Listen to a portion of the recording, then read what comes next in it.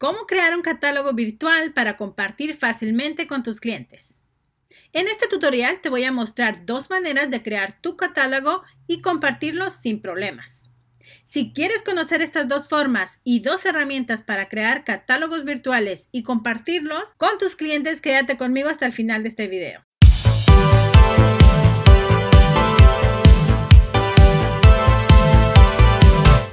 Hoy en día somos muchos los que intentamos sacar adelante nuestro pequeño negocio, tanto si vendemos productos como si vendemos servicios. Lo ideal es tener un catálogo para que tus clientes sepan lo que les puedes ofrecer en todo momento. Pero debido al alto coste que puede suponer la impresión de miles y miles o cantidad de catálogos, lo más factible es crear un catálogo en PDF.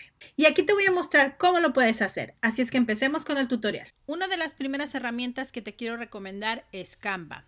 Canva.com. En ella puedes crear no solo un catálogo de productos, sino infinidad de imágenes para promover en tus redes sociales, covers para Facebook, flyers para Instagram, una infinidad de diseños que puedes crear en esta herramienta. Ahora bien, nosotros la vamos a utilizar para crear un catálogo virtual. Si no tienes una cuenta, te invito a que la abras. Tiene una versión gratuita con la que puedes hacer maravillas. Así es que una vez que abras tu cuenta e ingreses, vas a ver una pantalla como lo estás viendo en la mía en este momento. Y aquí, en la parte de abajo, te invita a crear diseños y te da ejemplos de lo que puedes crear. Ahora, si tú quieres crear un catálogo con una medida específica, bueno, buscas algo que, que se acerque a la medida que tú quieres. Aquí puedes ver, si pasas el ratón levemente por la imagen, vas a poder ver en la parte de abajo el tamaño. ¿Ok? Yo te recomiendo crear este que dice presentación y ya vas a ver por qué. Bueno, le vamos a dar clic aquí y aquí ya podemos empezar a diseñar. Pero como tú le dices clic a presentación, aquí Canva te da plantillas, plantillas que puedes utilizar y que solamente tienes que cambiarle la información por, la, por tu información. Bien, estas plantillas son totalmente gratis, excepto por algunas imágenes, pero ya te voy a enseñar cómo puedes sacarle provecho a esta herramienta de manera gratuita. Nosotros necesitamos una, una plantilla para mostrar nuestros productos y lo que tenemos que hacer es buscar, aquí se dividen por categorías. Una sencilla, una presentación creativa, una presentación simple, una presentación de educación, de negocio, de marketing, eh, de ventas, de arquitectura, vamos a buscar una que diga de producto. Mira, aquí está, presentación de producto. Le vamos a darle clic a, ver todas y aquí vamos a elegir una que más o menos vaya con el estilo gráfico que utilizamos en nuestro negocio y la vamos a editar. Yo voy a elegir esta. Si tú pasas el ratón levemente, vas a poder ver que dice una de 25, lo que quiere decir que al darle clic se te van a desplegar 25 diseños, 25 láminas. Entonces tienes que empezar por la primera. Le das clic y como puedes ver ya se pasó la lámina. Si tienes que cambiar los colores, pues no hay problema, le das clic y puedes modificar el color sin ningún problema para adaptarlo al estilo gráfico que tiene tu marca. Después agregamos otra lámina y buscamos pues entre las 25 algún diseño que nos pueda servir para mostrar nuestros productos. Por ejemplo este, aquí podemos insertar, cambiar una imagen por otra subiendo nuestras propias imágenes. Es importante eh, que te dirijas a un banco de imágenes gratuitos porque no todas las imágenes por ejemplo, que están en las plantillas son gratuitas. Al parecer en esta plantilla sí.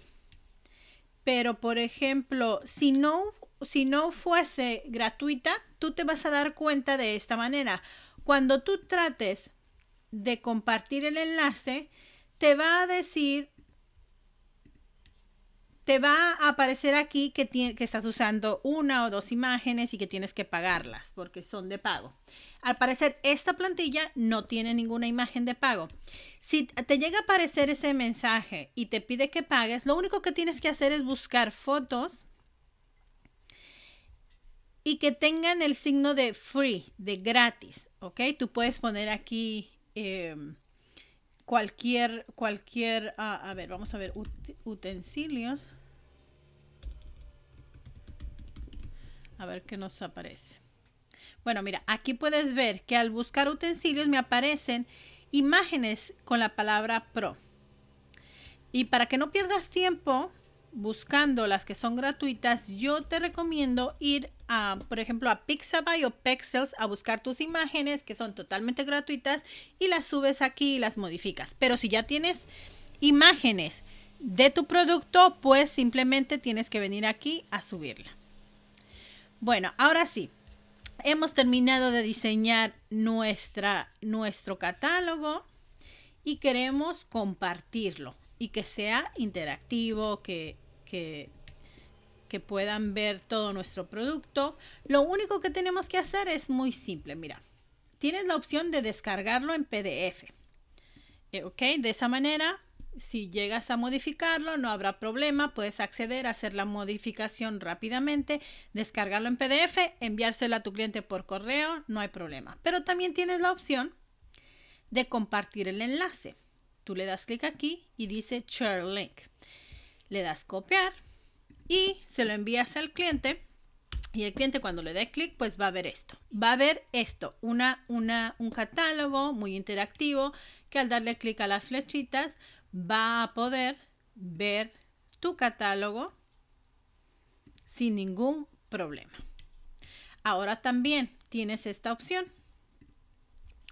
Tienes la opción de embeberlo en tu sitio web. Lo que quiere decir que puedes crear una página en tu sitio web y pegar este código. Simplemente le das clic en Embed, le das clic aquí a Copy, al que dice Your WordPress, o si tienes, eh, o si quieres copiar el HTML también. Bueno, le das clic a copiar, abres una página en el sitio web y incluso vamos a hacerlo. Rápidamente vamos a entrar el primer paso es crear una nueva página. Le das clic en crear página. Escribes el nombre, en este caso puede ser catálogo de producto.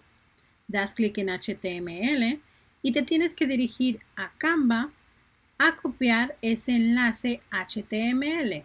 Una vez que lo copias, regresas, le das clic a HTML, lo pegas, le das clic a visual das clic en guardar en borrador para que se guarde y no pierdas los cambios. Y después le das clic a vista previa para que puedas visualizar cómo es que se va a ver ese catálogo insertado en tu sitio web. Y como puedes ver, pues ya se ve, está visual.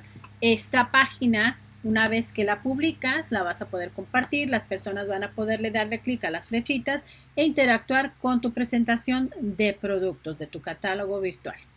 De esta manera lo puedes tener en tu sitio web. Ahora también tienes la otra forma, que es la de copiar el enlace para compartir. Le das clic, le das clic Share the Link. Al darle clic, te va a dar el, enlace, lo copias, lo compartes y la persona va a poder visualizar ese catálogo virtual y como te dije, le da clic a las flechitas y lo pueden ver. Ahora, el enlace es muy largo y se ve muy feo. Lo que puedes hacer es acortarlo, hacerlo más pequeño con la herramienta que se llama Bitly. Simplemente te diriges a la herramienta, le das clic en crear, pegas ese código y inmediatamente te va a dar un, un, enlace mucho más pequeño. No te olvides de de ponerle el nombre de que se trata ese enlace para que eventualmente lo puedas encontrar fácilmente en todos tus enlaces de Bitly. Entonces copias ese enlace y ese enlace cortito es el que puedes compartir a tus clientes tanto por las redes sociales, publicarlo en las redes sociales o enviárselos por correo electrónico sin ningún problema. De esa manera va a ser mucho más fácil compartir ese catálogo virtual directamente desde Facebook. No tienes que insertarlo en tu sitio web. Como segunda opción tenemos la herramienta o aplicación que se llama Issue.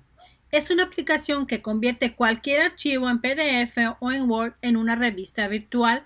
Esta herramienta te permite publicar y compartir estos documentos como los portfolios, los libros, las revistas, algún informe de manera muy fácil. Así es que te voy a enseñar cómo crear tu cuenta y subir tu archivo. Ingresamos a issue.com y lo que tienes que hacer para crear tu cuenta es escribir tu correo electrónico, una contraseña, aceptar los términos y le das clic en crear una cuenta. Es importante que pongas cuidado en el nombre que le vas a dar porque ese es el nombre, el nombre público que va a aparecer en tu cuenta. Una vez que le das clic al botón anaranjado, tienes que buscar esta opción. Para crear la cuenta básica, donde no te van a cobrar nada, le das clic y empiezas a rellenar tus datos más importantes. Esta información es la que va a aparecer pública, así es que trata de rellenarlo lo mejor posible. Una vez rellenada toda esa información, estamos listos para subir nuestro documento. Simplemente le tienes que dar clic a subir desde tu Drive o si lo tienes en Dropbox o en Google Drive. Le vamos a dar clic en You Device, que quiere decir en tu computadora. Subes tu catálogo, esperas a que se cargue El proceso puede tardar un poquito.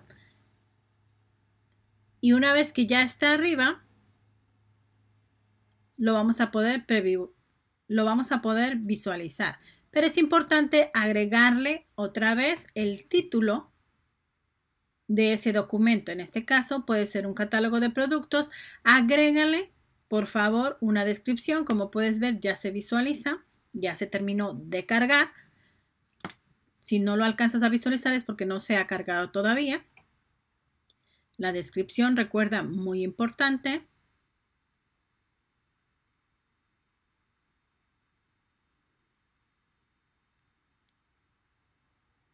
Después tienes que elegir el tipo de PDF o libro que es. En este caso yo puse promoción en marketing porque es un catálogo. Las siguientes opciones es muy importante ponerla pública porque quieres compartirlo, que se siempre pública. Y las otras opciones que permitan, por ejemplo, que descarguen ese PDF, solamente está disponible en una cuenta pago, así es que, pues ni modo, no podrás utilizarlas, pero esas que te acabo de decir son las básicas.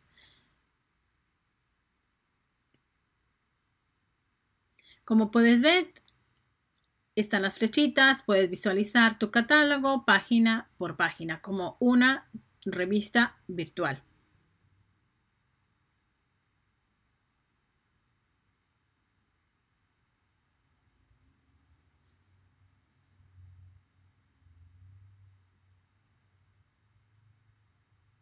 Verificas que esté toda la información.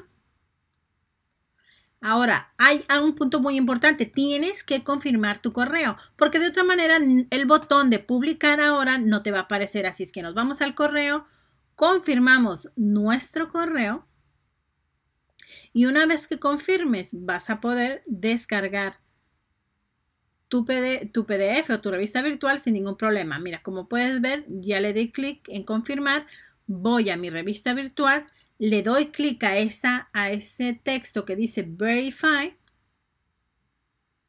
y va a estar confirmado y me aparece el botón anaranjado que dice Publicar Now. Ahora me da tres opciones. Lo puedes ver desde la plataforma Issue o también compartirlo. Si le das clic a compartir, te va a dar aquí en la parte de abajo un enlace. Ese enlace va a tener el nombre, esa URL va a tener el nombre de usuario y el nombre del catálogo. Por eso es importante que elijas bien el nombre de usuario y también el nombre o el título que le vas a dar a tu PDF. Cuando lo compartes, la persona va a poder entrar a Issue y ver tu catálogo de productos y navegar en él, pasar las páginas, ver toda la información que tienes. También tiene la opción de darle like de salvarlo o de compartirlo y también ver la descripción, los detalles de ese catálogo, de ese producto. También va a poder ver la información de tu perfil. Por eso es importante que escribas bien tu nombre, que le subas una foto, ya sea el logo de tu compañía y las redes sociales, otras redes sociales que tú tengas o tu sitio web.